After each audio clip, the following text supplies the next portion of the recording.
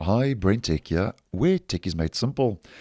So, just a quick video to give you a heads up that if you are running AMD software and are running an AMD GPU, that there are reports now that for some Windows 10 and Windows 11 users, they are finding that uh, Microsoft is replacing their existing AMD GPU drivers with older versions, which is not a good thing because, as many of you may know, if that happens, it could lead to different issues and a range of different problems. And this has actually been confirmed by AMD in a recent post, as we can see.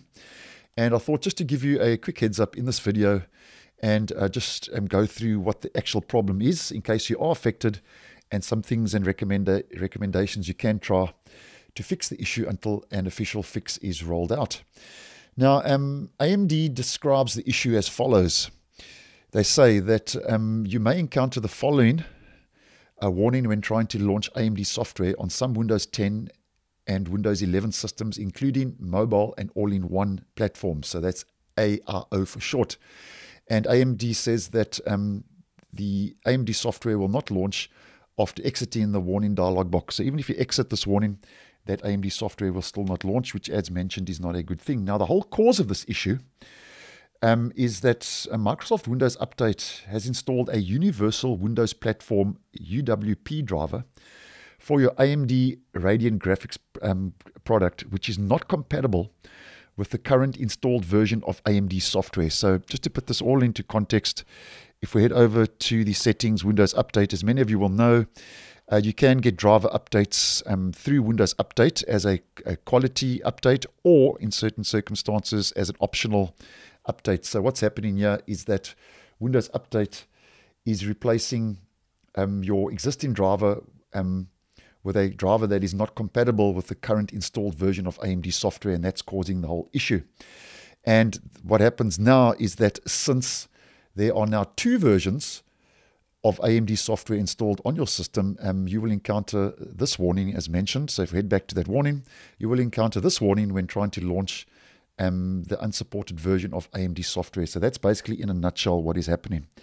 Now, um, what you can do, according to AMD, to try and resolve this issue um, until a fix is rolled out, there are two recommendations.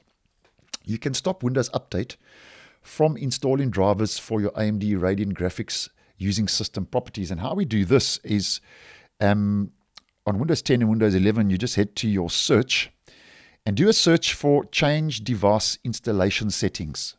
So I'll say that again. It's change device installation settings, and then you just click on that, and here you'll get device installation settings, and it says, do you want to automatically download manufacturers' apps and custom icons available for your devices? And obviously the default is yes, recommended. You change that to no. And no, your device might not work as expected. Just ignore that and save the changes, and then that should resolve the issue. And something else you can try um, AMD says you need to reinstall the AMD software using the latest available package. So if we head to that, and I'll leave a link to this um, page down below, um, you can obviously install the AMD software um, using the latest package, which you can find um, from this uh, download location in this page, which um, I will leave in the description for quick access and reference. And that's more or less what's happening, and some things you can try until a fix is rolled out. And over and above that, um, AMD mentions that for users that prefer to use UWP and or customized drivers for their AMD graphics, uninstall AMD software, um, Adrenalin, Adrenalin Edition through Windows settings, apps and features, and continue to use the OEM customized driver software. And as mentioned, future updates will be provided by the OEM and or a Windows update. And obviously, I'll keep my eye on this one. And if a fix and a driver update does roll out, be that from um, Microsoft using um, the Windows Update or AMD releasing a new driver, I will obviously post and let you guys know accordingly. So thanks for watching, and I will see you in the next one.